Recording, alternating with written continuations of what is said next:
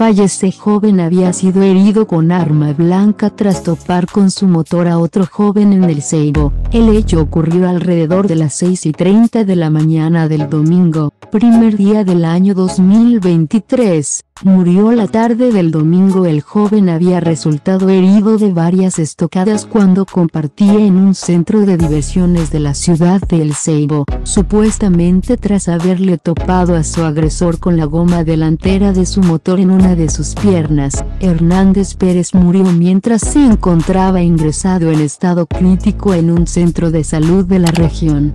Según el parte policial, Cristian se encontraba celebrando la llegada del año nuevo junto a su primo Angel Gabriel Pérez en el centro de diversiones El Patio de Harold, cuando recibió las heridas de arma blanca.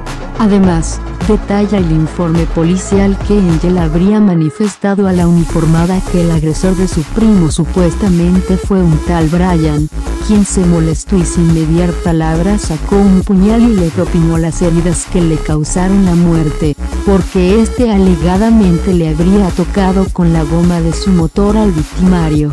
El agresor tan pronto cometió el hecho emprendió la huida.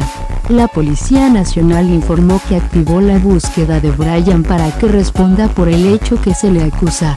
Gracias por tu visita te invito a suscribirte y compartir, darle me gusta para llegar a más personas.